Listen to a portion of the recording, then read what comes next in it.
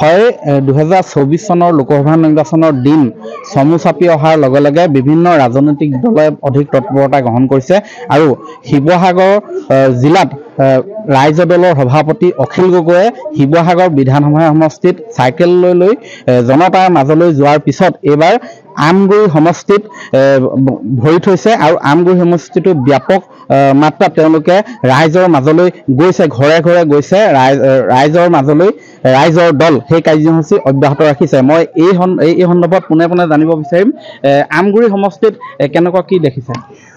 ৰাইজৰ মাজলৈ ৰাইজৰ দলৰ যি কাৰ্যসূচী আজি আমাৰ একৈশ নম্বৰ দিন। আৰু এই একৈশ নম্বৰ দিনত আমি বৰ্তমান সকলোৱে জানে যে আমি গৌৰীসাগৰ ব্লকৰ অন্তৰ্ভুক্ত। অৰ্থাৎ পুৰণি আমগুৰি সমষ্টিটোত এতিয়া সম্পূৰ্ণৰূপে ভ্ৰমণ কৰি আছো। পুৰণি আমগুৰি সমষ্টিটোৰ প্ৰত্যেকখন গাঁৱলৈ যাবলৈ চেষ্টা কৰিছো। পুৰণি আমগুৰি সমষ্টিটোৰ ৰাস্তা পদূলিবিলাক চাবৰ কাৰণে চেষ্টা কৰিছোঁ। তাৰ ৰাস্তা পদূলি ক'ত পকীকৰণ কৰিব লাগিব ক'ত মেৰামতি কৰিব লাগিব ক'ত শিলগুটি পেলাব লাগিব এইবিলাক চোৱা চিতাৰ কাৰণে চেষ্টা কৰিছোঁ। ক'ত স্কুলবিলাকৰ অৱস্থা বেয়া হৈ আছে ক'ত অংগনবাদী কেন্দ্ৰৰ অৱস্থা বেয়া হৈ আছে ক'ত আমাৰ জল জীৱন মিছনৰ আঁচনিবিলাকৰ কাম এতিয়ালৈকে ভালকৈ আৰম্ভ হোৱা নাই। এই আটাইবিলাক ৰাজহুৱা বিষয় আমি চেষ্টা কৰিছোঁ। নামঘৰবিলাকৰ অৱস্থা ক'ত বেয়া হৈ আছে মছজিদৰ অৱস্থা ক'ত বেয়া হৈ আছে এইবিলাক এফালৰ পৰা চাবলৈ যত্ন কৰিছোঁ। আৰু লগতে ব্যক্তিগত হিতাধিকাৰী আঁচনিবিলাকো ইয়াতে ভালকৈ ইমপ্লিমেণ্ট হৈছে নে নাই তাক চাবলৈ যত্ন কৰিছোঁ। আপোনালোকে নিশ্চয় সকলোৱে জানে যে অসম চৰকাৰে ইতিমধ্যে নিৰ্দেশনা প্ৰেৰণ কৰিছে যে শিৱসাগৰৰ বিধায়ক হিচাপে। মই এতিয়া আমগুৰি বিধানসভা সমষ্টিৰ এতিয়া যিবিলাক অঞ্চল আমাৰ নতুনকৈ শিৱসাগৰ বিধানসভা সমষ্টিৰ অন্তৰ্ভুক্ত হ'ল তাৰ উন্নয়নৰ দায়িত্বও আচলতে গ্ৰহণ কৰিব লাগে। সেই অঞ্চলৰ উন্নয়নৰ কামবিলাকো মই চোৱা চিতা কৰিব লাগে। ইতিমধ্যে ৰাজ্য চৰকাৰে বিভিন্ন বিভাগলৈ এই সম্পৰ্কত জাননী জাৰি কৰিছে। আৰু এটা কথা শেহতীয়াকৈ যি পাঁচ ৰাজ্যৰ নিৰ্বাচনী ফলাফল তাৰপিছতে তিনিখনত বিজেপি দল জয়ী হৈছে। তাৰ ইয়াতে এটা চৰ্চা হৈছে যে বিৰোধীৰ মাজত কিছু ফাট মেলিছে নেকি? তেনেধৰণৰ নাই বিৰোধীৰ মাজত ফাট মেলাৰ প্ৰশ্নই উঠিব নোৱাৰে। এতিয়া আমি বিজেপিক দুহেজাৰ চৌব্বিছ চনত আমি পৰাভূত কৰিব লাগে গতিকে বিৰোধীৰ মাজত আমাৰ একতা বৃদ্ধিহে পাইছে। দুহেজাৰ চৌব্বিছ চনত আগতে আপোনালোকে দেখিছিলে যে এইবাৰ যিটো তিনিখন ৰাজ্যত চাৰিখন ৰাজ্যৰ নিৰ্বাচন হৈছিলে। চাৰিখন ৰাজ্যত কংগ্ৰেছে অকলে খেলিছিলে। আমি কৈ আছিলো যে সকলোৱে একেলগতে খেলিব লাগে।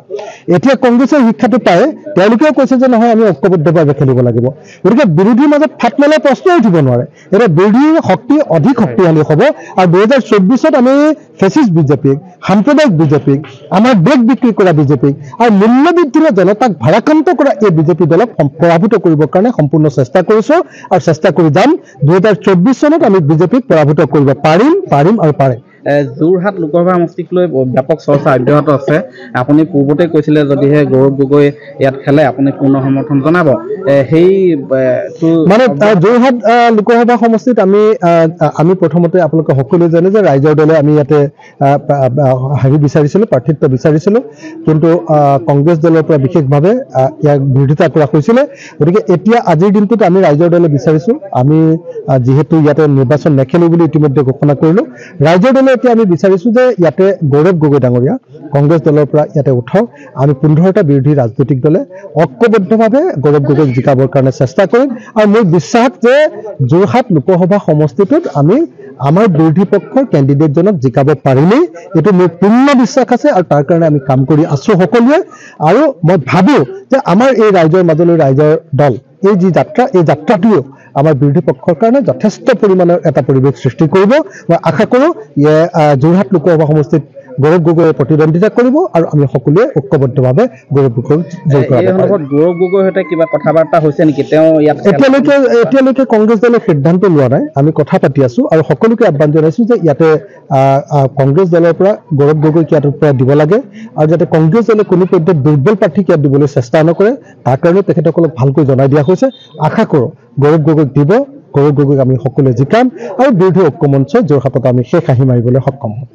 এয়া ৰাইজৰ দলৰ সভাপতি অখিল গগৈ ভাষ্য আৰু এনেধৰণেই আচলতে শিৱ শিৱসাগৰ জিলাৰ প্ৰতিটো সমষ্টিলৈ যোৱাৰ তেওঁলোকে চেষ্টা অব্যাহত ৰাখিছে। ইয়াৰ পিছতে আন সমষ্টিলৈ আন জিলালৈ যাব। অনাগত সময়ত লক্ষণীয় হ'ব।